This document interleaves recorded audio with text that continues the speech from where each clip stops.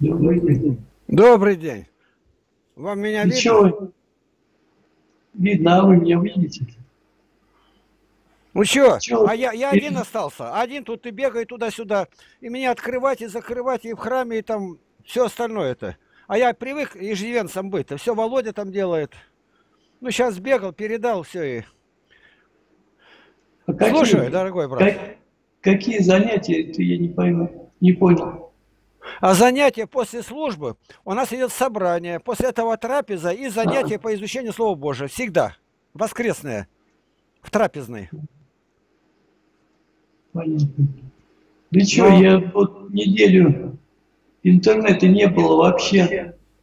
Вот. Мы переехали в деревню, а тут, тут вообще интернет совсем никакой. То есть э, стоит 3000 в неделю, а скорости практически, ну, ночью более-менее, так и утром, а так вообще невозможно. Страницу даже одну не откроешь.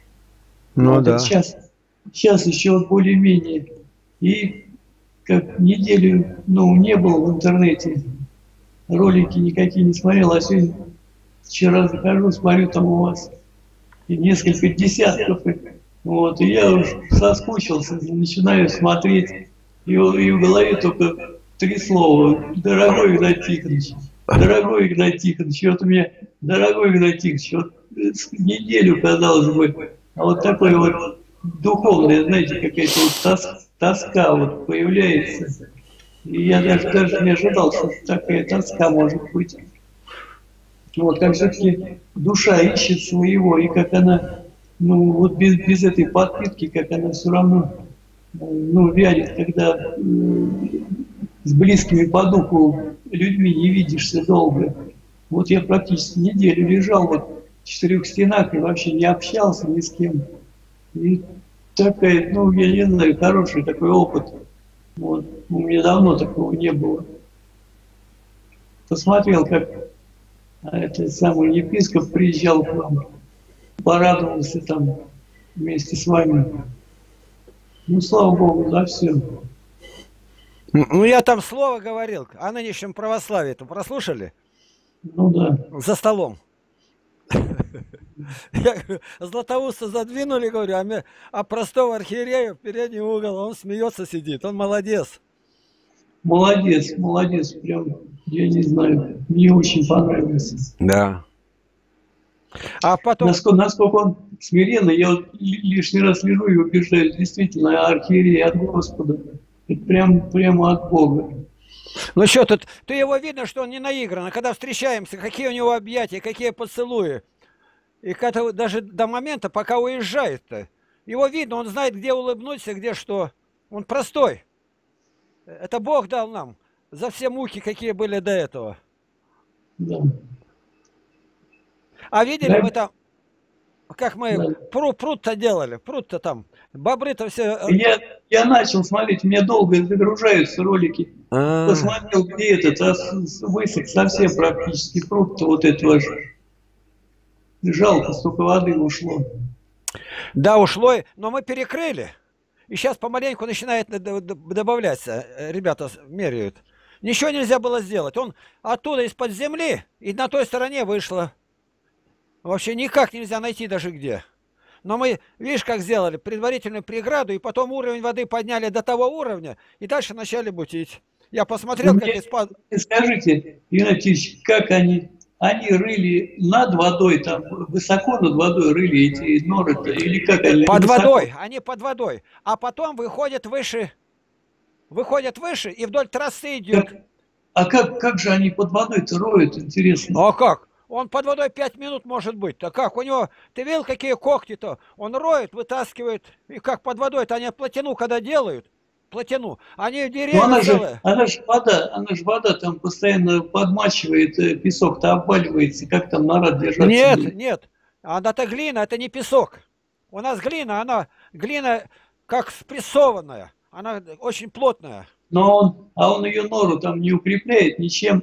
Нет, а ее не надо укреплять, она в воде не размокает. Дыра вот Ага. такая, и он из нее под, под водой делает кверху, и там гнездо. И он даже, даже свою эту хатку не делает. такая, они первые разрушители плотин. Я их так любил. А что а он такой бестолковый? Неужели он не понимает, что вода-то уйдет? Для чего он роет? Он Но не хватает ума. Вот, не хватает. А там, видимо, старая дыра была. А оттуда проход прямо насквозь и под, под это, это. Дальше из хатки идет ниже и опять дальше вдоль. Вдоль плотины.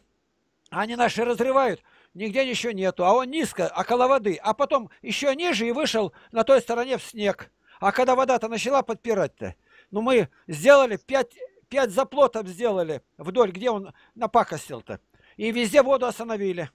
Я знаю, как бороться. До этого посмотрел, как из подводной лодки на небольшой глубине через торпедный аппарат спасаются. Надо открыть, э, там, который Кингстон у них, ну, так назовем, чтобы вода набралась э, в этой в этом отделении выше, чем вход торпеды. И тогда можно через нее выходить. Я это и сделал. Когда мы эту воду прям в воде бутили подняли выше, то а как? Стена, глина, стена и глина, все спрессовалось. И теперь выше стало, вода перестала бить. Она все время била и била оттуда. Но раз перестала бить, теперь мы начали подкапывать, искать, где он. Но не нашли. С той стороны батюшка нашел. И стал туда вниз тыкать палкой-то. А тогда с обратной стороны в стороне метра четыре потекла вода мутная. Ее видно, что батюшка там именно попал в гнездо. Сам вход где? А вход-то под водой, его не видать, его не подо льдом вообще не видно. То есть сделать ничего нельзя было. И теперь мы ну, думать будем. Каким образом... Да что, что думать, Игнатий Ильич, я э, думаю, смотрел, что искать, вы сами сможете их по поймать. В общем, там под водой надо ставить капкан. Вот петля такая, да. делается петля под водой, вот, и он туда залазит, и за шею его ловить. Да. Ну, посмотрим как. Я андатру так ловил. Андатор, она то маленькая, крыса водяная.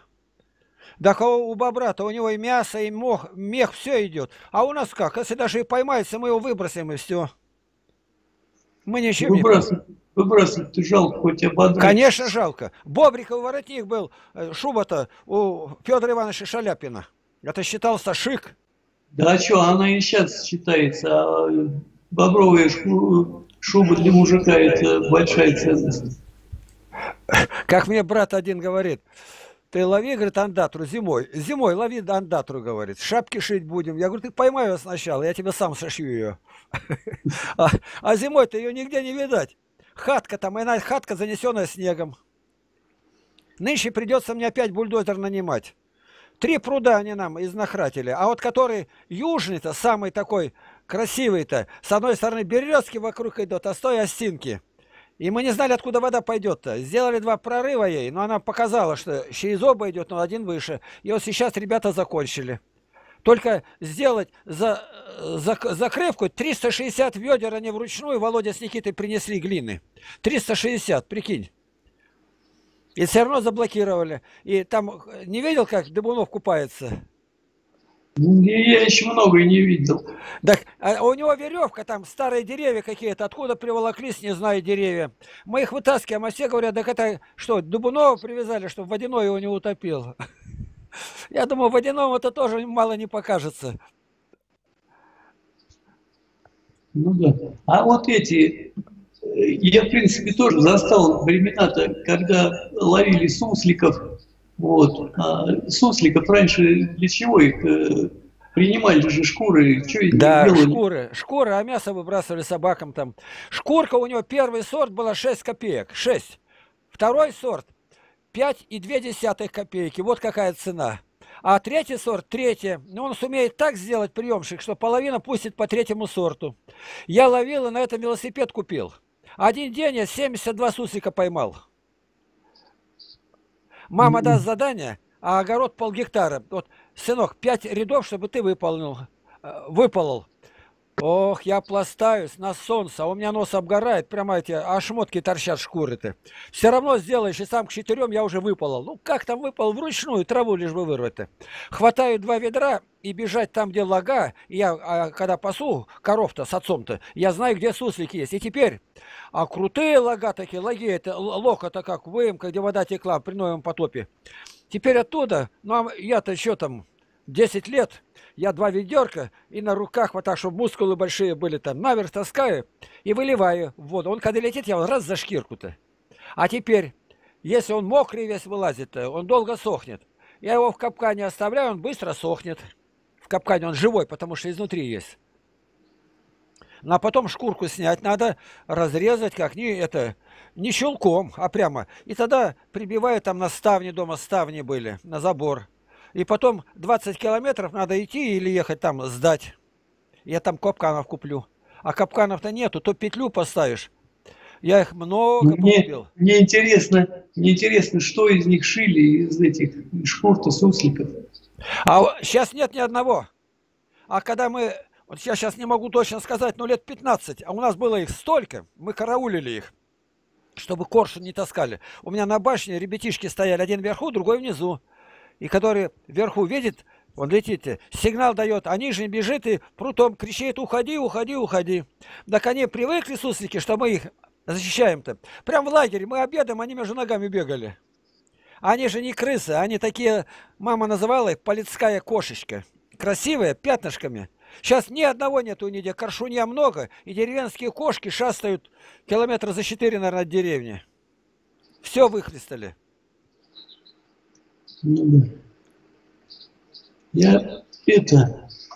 Меня что-то вопрос в последнее время интересует такой, думаю, спрошу Игнатьевича, что вот вы все равно вы как-то, знаете, ну, прячетесь вот этого, да, своего а, душевного, ну, э, патриотизма, любви к родине, к России, вот, а все равно у вас вот это вот чувствуется любовь к России, да? Да.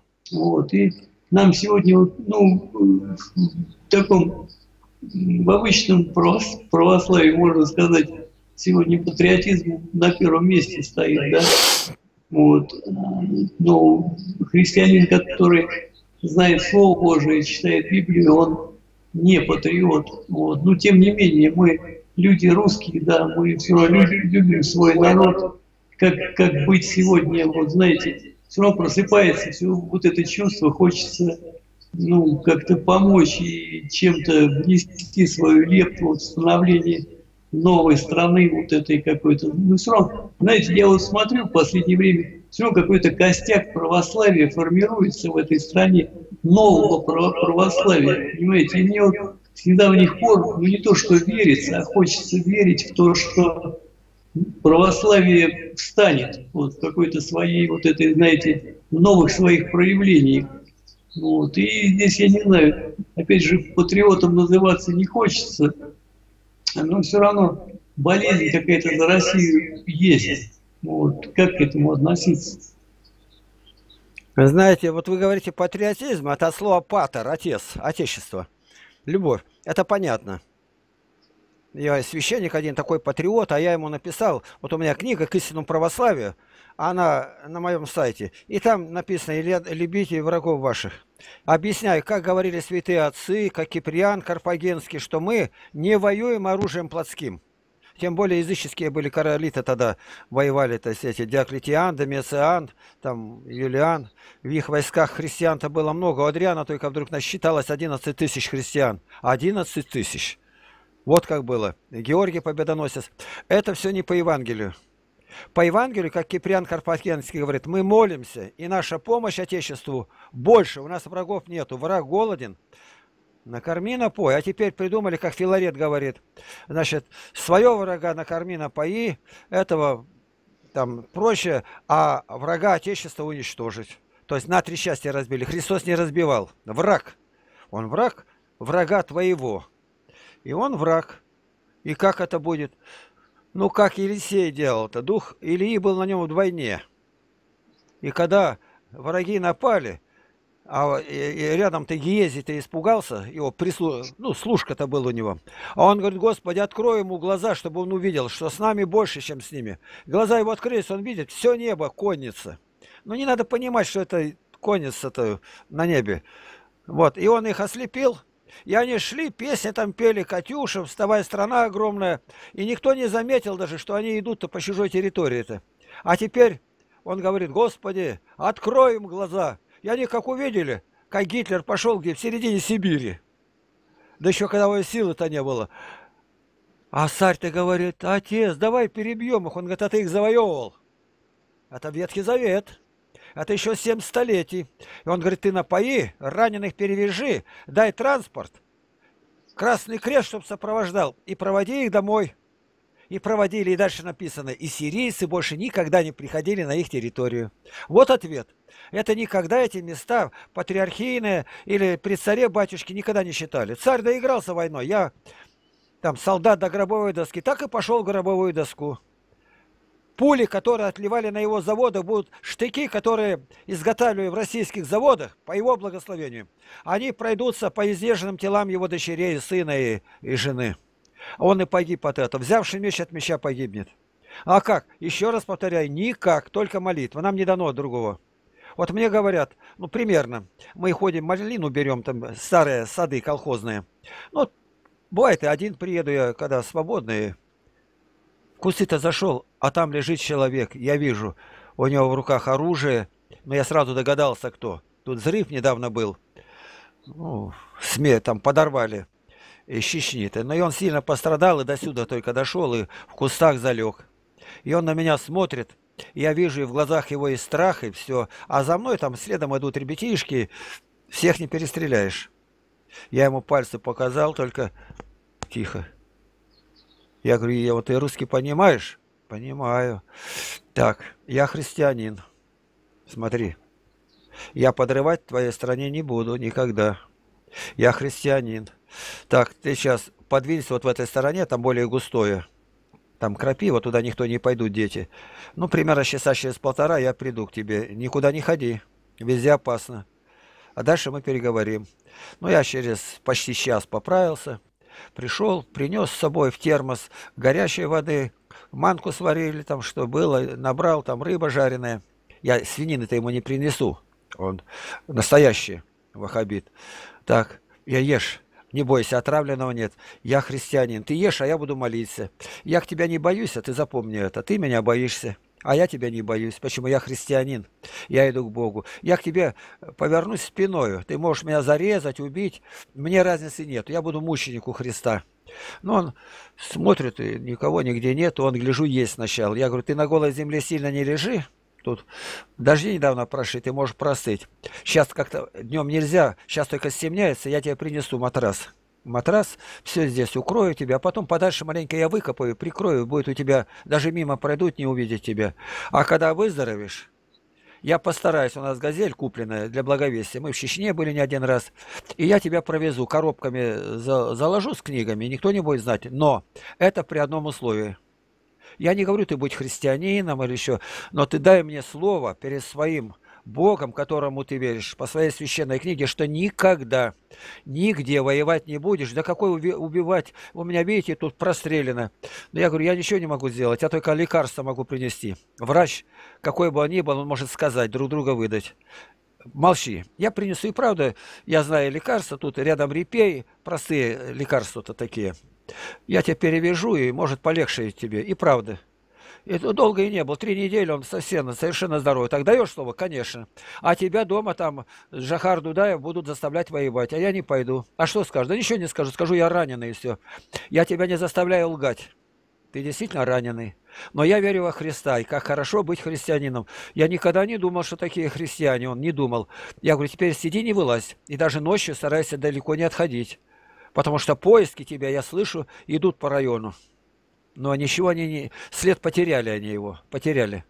Ты понимаешь, где? Я не спрашиваю, как ты смог к нам дойти. Про нас кое-где знаю где-то. Я даже не знал. Я говорю, а у меня мусульманка знакомая. Мы в доме Мулы ночевали. И тебе Коран принеси. Да нет, не надо, я и так знаю. Ну, ничего он знает, я вижу. То я ему каждый раз начинаю говорить о Христе.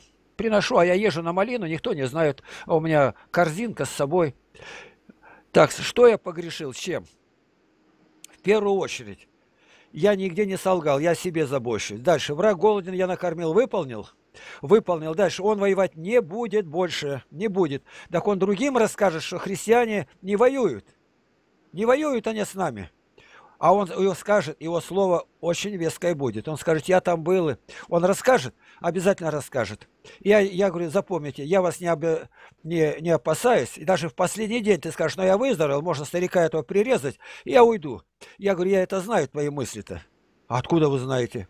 Ну, сатана, потому что нам не безызвестны его умыслы. У нас есть книга «Святая Библия», и там так написано. Но я тебя не боюсь. Я буду молиться всегда спиной к тебе. Ты можешь убить меня, зарезать. Да вы что? Я говорю, ну, тебе мысли такие были же? Ну да, в первый день. Раз один нашел, другому скажет.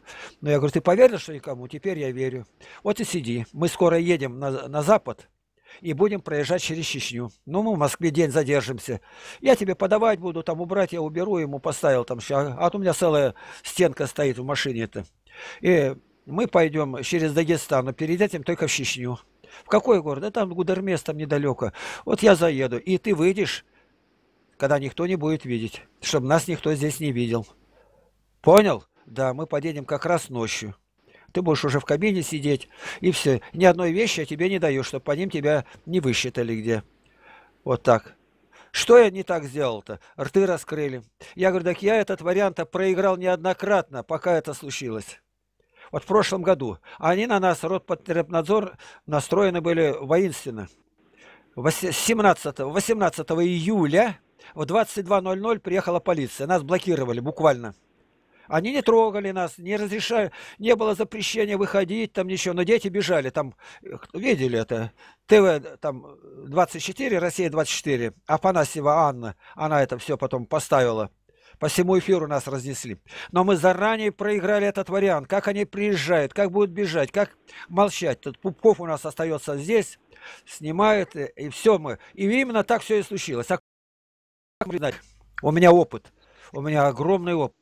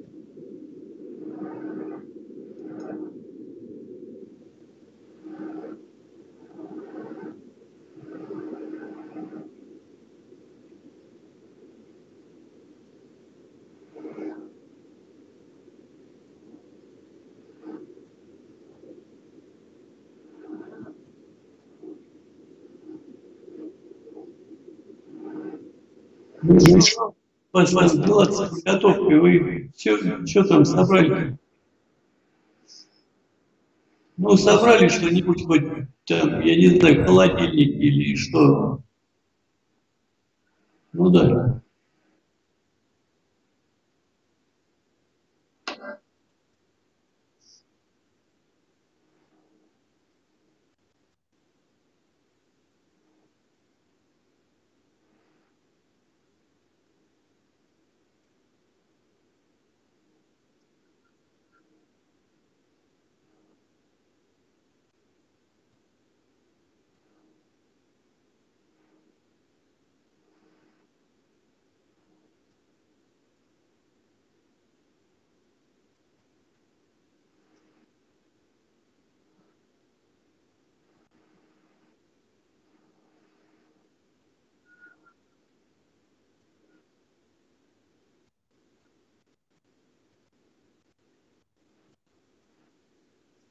Но они, они не оставят, не оставят это так, они все равно мстить будут.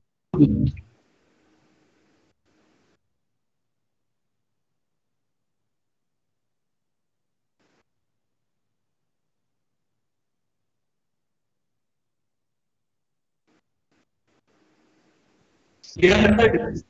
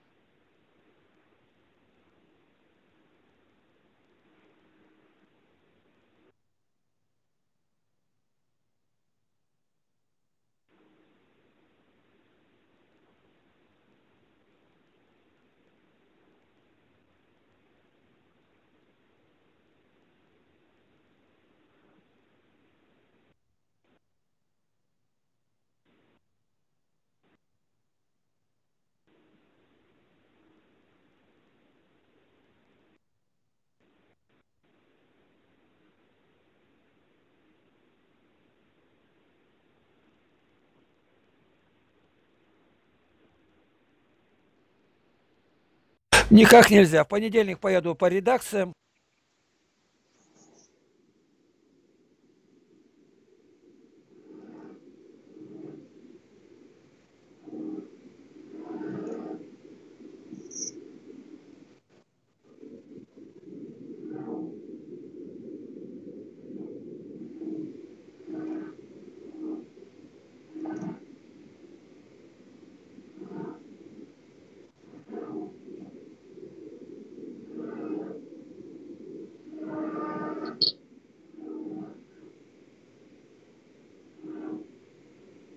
Всем, всем желающим добро пожаловать в гости. Да?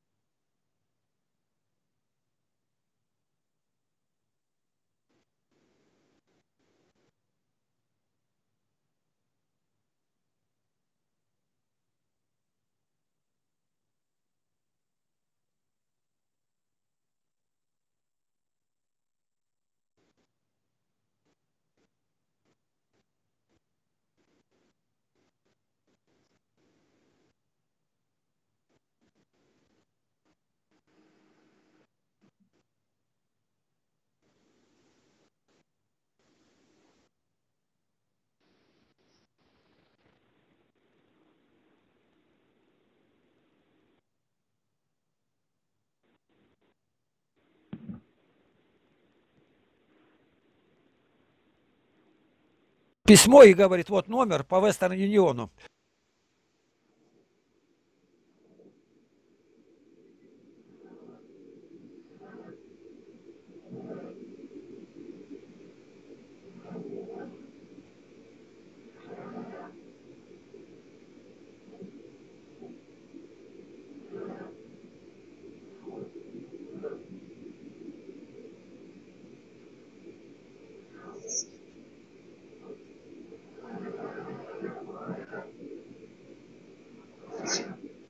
Ну, я хочу сделать это тоже ролик, выставили на своем сайте, у меня людей, подписчиков тоже много, и благословите сделать.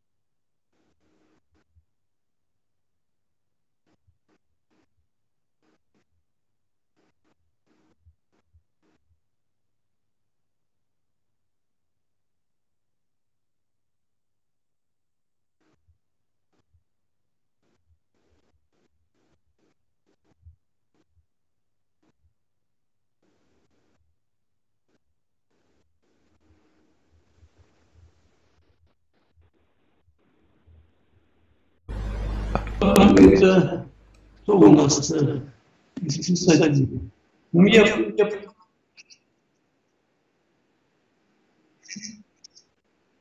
А, это он современник наш, да? А, не могу сказать.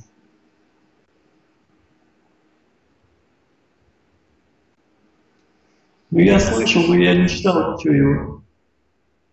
А, вон он что. Ну да.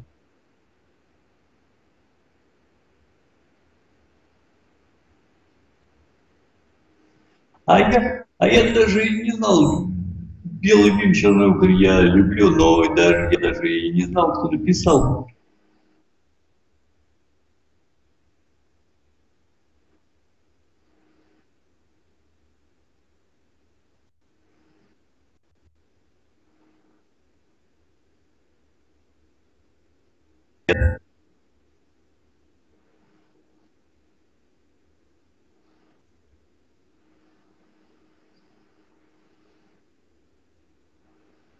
Да, это американцы тоже поставили фильм несколько лет назад, как он назывался, я не помню, как же он, Хай, Хатико или как, ну, собака.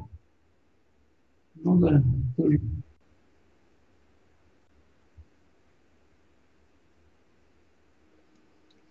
Ну, реальные же истории. Я просто из жизни знаю такие истории. Не то, что собаки, даже кошки – у меня в жизни, жизни есть пример, что друзья мои, а, родители уехали на дачу, а кот два месяца, и они за котом за этим плохо кормили его, вот там.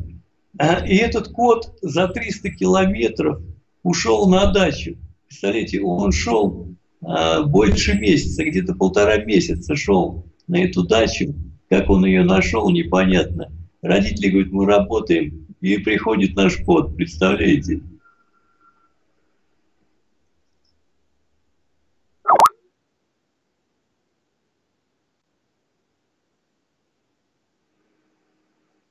Но он был, он, он на даче-то был, его возили там несколько раз, допустим, вот.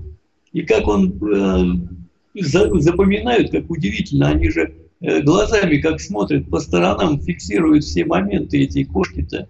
Насколько в памяти вот это они откладывают в себе.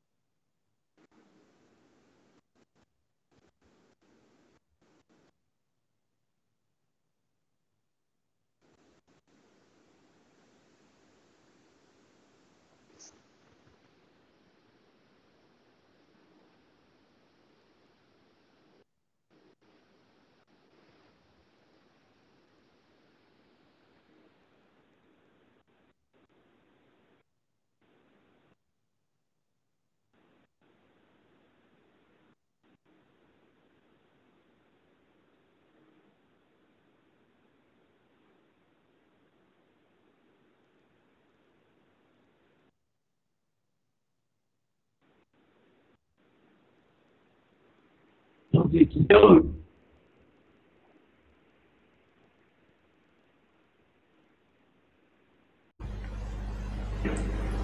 Ну, и Воронеж, наверное, никто не поедет.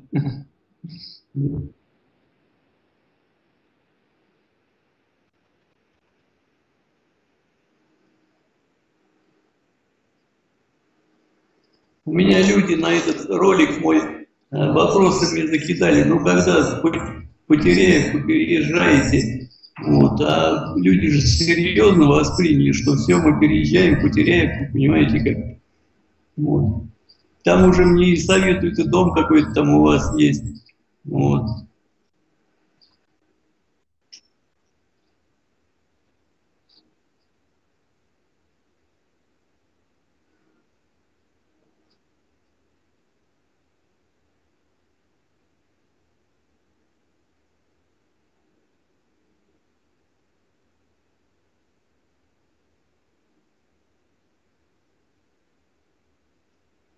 Ну да. Ну а что, по сути-то она и есть.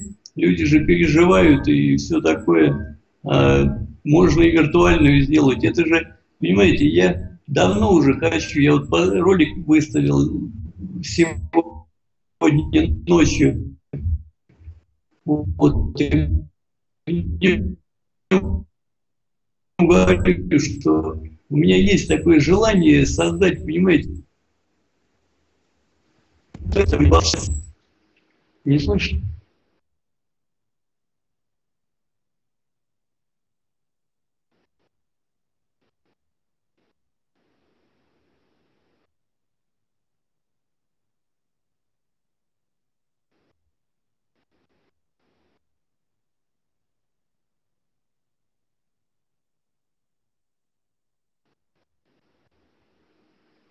Ну, интернет такой.